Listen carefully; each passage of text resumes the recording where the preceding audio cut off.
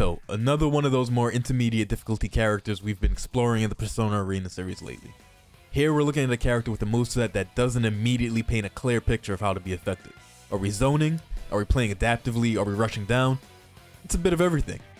The best summary I can give, Naoto rewards a particularly patient and deliberate player. You have to use traps, conventional zoning projectiles, range strikes, variable close range pressure, and a bit of calculated risk in balancing your meter between defensive and offensive options in order to succeed.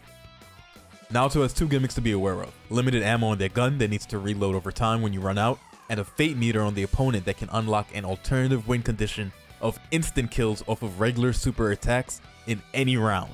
If you execute the game plan correctly, you can turn a grab on a mostly healthy opponent into a total match win. Playing Naoto, there's a lot going on in your favor, especially against low to mid level opponents. The various status effects that you can pull out like Silence and Fear are some of the strongest and most matchup altering in the game. While the game plan requires all aspects to work in harmony, you can afford to lean off of specific elements in certain matchups. If you need to deny an Akihiko player the room to pressure you for example, it's not a total disaster to shy away from taking risky close range confrontations and choosing to bully them from afar for most of the matchup. And of course, the Fate meter enabling instant kills gives an ever looming threat over the opponent's neck. Check out footage from a good Naoto player sometime and you'll see a common scenario is a first round win with a heavily depleted fate meter, leading into a second round wipe with an instant kill for the match. Sadly, Naoto is balanced out with a tiny health pool. If you take too many risks and eat two or three counter hit combos, you're dead. And the defensive options are much worse than most of the other characters. And not entirely a con, but more of a limitation that has to be worked around to succeed, like I said, there's a lot going on here that you have to juggle. There's the ammo resources that need to be top of mind at all times, and you also have to ration out how you spend your meter. Do you go all out with this combo to reduce their fate meter and set up an instant kill? Or do you conserve a bit to have more defensive options at your disposal and be a bit safer? I'll be giving a brief overview on the important attacks, but as always, please read the write-ups on dustloop.com for full frame data and other information. You have a pretty standard set of basics with decent frame data. The second hit of the auto combo is one of those nifty mid-chain lows that lets you get multiple low hits in a pressure chain with your crouching A. Stand B is a good mid-range poking tool due to its advanced movement, and Crouch B is an anti-air that's a bit mediocre hitbox-wise, but can be jump cancelled on block, giving it a bit of versatility. Jumping A is another standout due to its incredible versatility as well, with jumping B right behind it as another good tool. Naoto's Persona Normals give you some good range pokes in addition to serving as favorable combo starters and punishes. The grounded D attacks are pretty novel in that your Persona disappears and strikes when you press D again. The air Persona Normals have phenomenal utility just like the A and B air attacks, really above average normals across the board save for having no 5 frame move outside of throw, which can be pretty detrimental on defense. For the special attacks we have DP Shield of Justice with neutral forward and backward follow-ups, quarter circle AB double fangs, quarter circle back AB aim that leads into A, B, C, or D versions of snipe, quarter circle forward C and D for blight, and quarter circle back C and D for Megiddo. If you've seen previous guides, y'all should know about how counter DPs work by now. They're like regular DPs, but worse. Naoto's gives you different options for follow-up after the counter though, so it helps a bit to cover for the pitfalls of having a counter DP. Just with the requirement that you make the correct read, guess, or reaction. Double Fangs is mostly for combos, so keep it to that starting out. Aim stance is really deep, so even if you don't want to get into the weeds of all the attacks, read up on the specifics on Dustloop for this please. This is how you get all of your shots off and it is integral to your game plan to understand most of the particulars of this move. Once you're in aim stance, different buttons give your bullets different trajectories and properties. The final shot of the clip is always a powered up version of whatever shot type you chose. A is a straight shot, B is a ricochet that aims downward and hits low on the way down, C hits airborne opponents, and D cancels the stance immediately. And if you have any experience with stance cancels, you can imagine how this adds a layer of complexity to maximizing Naoto's tools. I can't overstate how important this stance is, but I also can't do it justice in this introductory format. So to keep it simple, I think learning combos that utilize the aim stance and the various shot types will go a long way in helping you internalize the shot properties and apply them to the neutral game. It's a lot to take in at once, so I recommend you slowly integrate the deeper stuff like enhanced bullets over time. For now, treat it like Mega Man. You're just shooting people and aiming either straight down or up, whichever way their body is. Blight is cool as an anti-air, better than your crouch B, kind of, but it requires a higher level of reaction so you have to perform a motion in response to the jump in as opposed to just down and B. And your Megiddo trap is the other major component to your zoning. Finding the spaces to continually set up these within the flow of fights is the main challenge in playing this type of character. A Master Naoto can completely fluster people by preventing them from freely moving around the screen and deny them the chance to run their offense. For the supers, we got double quarter circle A B anti-S SP pistol, double quarter circle C and D for Hamaon and Mudoon, and the awakened double quarter circle back AB for the raid super. SP pistol silences the opponent, so it's one of those exceptions to the rule of not using super if it doesn't kill or get a hard knockdown. And you don't really mind it since you get to set up your full screen nuisance gameplay anyway. Hamaon and Mudoon, though, are those alternative win conditions we talked about. If you get them down to zero fate meter, instant kill.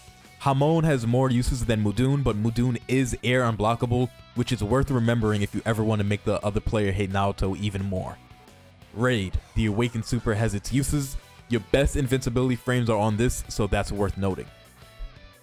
All of these skills take different amounts off of the fate meter. If you use multiple fate altering moves in a single combo, only the first one takes off the full amount of fate bar, and all subsequent moves after that first one only take one off of the fate meter, unless it's an enhanced skill. After every round, they get half of their fate gauge back, unless you instant kill them, in which case it's reset to full. So Naoto's cool because unlike most characters, we don't always need to emphasize getting a hard knockdown while still in their face since we want to set up traps and zone with our projectiles a little bit, as well as biding time to refill our gun. So this is the recommended easy starter combo. You can hit this off of pretty much any starting attack. The next combo is good for when you don't have bullets ready to use or if you want to keep close range pressure. You can set a trap after this combo or you can go into other pressure options. With bullets at the ready, you can combo into the ricochet bullets instead of the stance cancel while still getting a decent pressure opportunity afterwards. And the better mid-screen confirm that you want to practice is this one. It's tough to figure out at first, you just need to drill down the bullet sequence and do it really quickly. Four A shots and then a C shot so that they bounce back to you for the pickup with the auto combo. The stance cancel is pretty key here. There's a very clear window to cancel the aim stance after the powered C shot that you need to get used to. I advise you to not rush this link or you're gonna drop it. Try to get into a rhythm of clean inputs and catch them with the auto combo right as they are about to drop to the ground to make sure that you hit the rest of the combo. Now we'll carry this stance cancel into our corner routing. We're linking into a standing C which has quite a bit more startup than the stand A so you're to have to keep things tight here. And then finish with the B ricochet shots. Pretty easy. And for the last starter combo, here's a counter hit confirmed that you're going to want to work into your game. Counter hit C gives you enough time to charge a crouching C and then route into the mid-screen combo you just practiced. For all these combos, you have a lot of room to get creative with when adding supers to them. So just try stuff out to figure out how to combo the different supers that you have. I'm not going to hold your hand too much in that aspect. Like I alluded to earlier, our game plan is patience. You want to start every match with area denial. By forcing the opponent to play where we want them to play, we dictate their playstyle. Enforce the pressure of having the opponent finding an answer for themselves. And whatever risk they take to get to you, that's when you have your counterattack ready. So in neutral, we have our traps. Get good at smartly placing your Megiddo traps in areas that offer the best resistance to what your specific matchup is trying to accomplish. Are they approaching primarily from the air with very large buttons? Then limit that as well as you can. And you have to really make them understand the penalty for trying to bulldoze through the traps. Don't let people continuously run down and ignore the traps as they try to get in. Give resistance. Show them what it's like to eat a mix-up off of them just blindly running forward and blocking. When it comes to the gunshots, it's tricky. They're good projectiles, but you also want to have them handy for combos. But they also cover angles you might desperately need to stifle in certain matchups. So I'd say don't lean too heavily on using this as a zoning tool completely. Make sure you balance it out with your other moves, and not just using it at your first opportunity every time that you full screen from the opponent.